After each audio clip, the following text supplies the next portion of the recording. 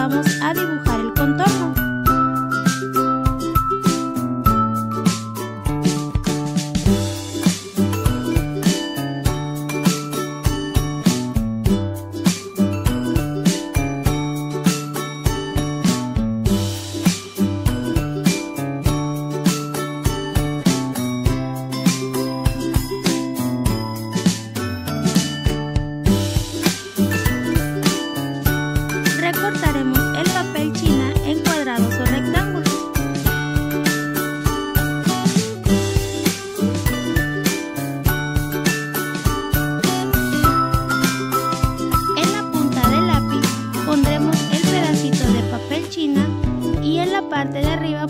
silicón y lo pegaremos sobre el cartón. De esta manera vamos a rellenar todo el corazón.